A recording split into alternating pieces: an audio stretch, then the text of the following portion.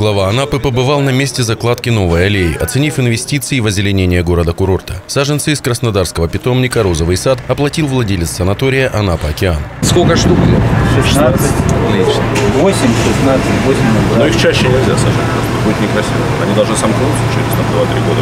Ну, это хорошо, что убрали аварийные деревья эти, потому что мало ли что с этим аварийным деревом могло упасть в любой момент.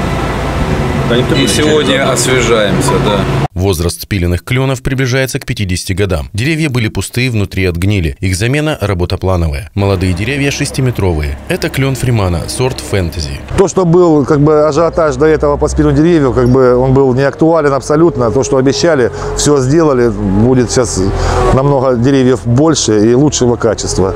Эти растения проживут э, как минимум лет 40-50 отработают на данной территории города. Глава Анапы подчеркнул, на курорте каждый собственник санатория или торгового объекта должен озаботиться внешним видом и озеленением прилегающей территории. Еще лучше идти таким путем. Одно, одно убрали дерево, а выдали, э, а выдали опоробочный билет. Два или три надо опосадить.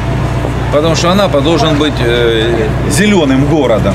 И вот хотел обратить внимание на Ореховую рощу. Приезжали депутаты ЗСК, и мы ходили, смотрели оре- Ореховую рощу. Я так понимаю, что редкий орех тоже не весь э, здесь как бы растет, да, потому что половина деревьев, они такие подсохшие.